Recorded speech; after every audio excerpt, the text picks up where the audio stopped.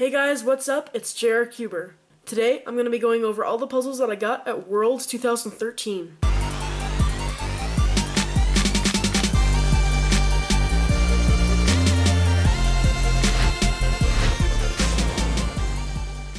Okay, so let's get started. These are not going to be in any really particular order. First up, we have the DaYan Gem 3. This is a really cool puzzle. It turns on the face and on these sort of edges. It also jumbles, as you can see here. Next we have the Crazy 4x4 1. This is pretty much a 2x2 with a 4x4 wrapped around it. Mats Valk actually solved this cube for me at Worlds. Quite fast too. Next we have the ShengShou mirror blocks. This is a really fun puzzle, and it turns quite smoothly too. I would have preferred the silver stickers, but when I bought this from Speedcube Shop, the only thing they had was the gold. Next we have the Professor Pyraminx. This is pretty much a five-layered Pyraminx, including the tip. The solve is pretty much reduction.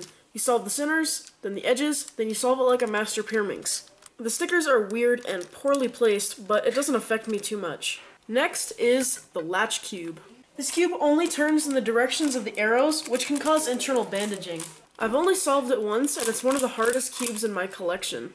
Next, we have the 2x2 shape-shifting dodecahedron. I think the name kind of tells you what that is. It's basically just a shape-shifting 2x2 dodecahedron. Uh, the core is a Lanlan, and it's pretty smooth. Next, we have the Lanlan Master Mastermorphix. This is a really cool puzzle, but I experienced some weird parities with it. I haven't looked at any videos yet, but I might. Up next is the ShengShou Crazy 2x2x4.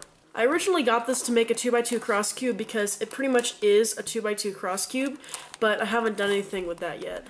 Next, we have the WitEden 3x3x6. I needed to get this to complete my 3x3x N collection, and it's really nice. The turning is really smooth, and it's really fun to solve. I don't really mind these squish layers, but I would have preferred it to be proportional. Next, we have the Rondi's Cube. Someone just went up and handed this to me, actually. Uh, it's a take-apart reassemble puzzle with only six pieces, so it's pretty simple. Next, we have the Mini Diansheng. Not sure how I ended up with this thing, but I've never had a Mini Diansheng before, so that's cool. Next, we have the Gear Change. This is a uh, Gear Cube shape mod into a rhombic dodecahedron. It's a really cool cube, but I haven't quite figured out how to solve it yet. Next, we have the Gear Ball. This is an extremely good turning puzzle, and it was a little bit of a challenge to solve it. Next we have the gear shift. This cube turns very well, as you can see. The axes split apart like this, and then you can turn the individual faces.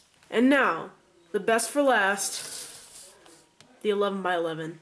As you can see, this cube is an absolute beast. I had my eye on it for a while at Worlds before I actually started to negotiate a trade with the guy who had it. I ended up giving away six or seven cubes and about $75 for this cube.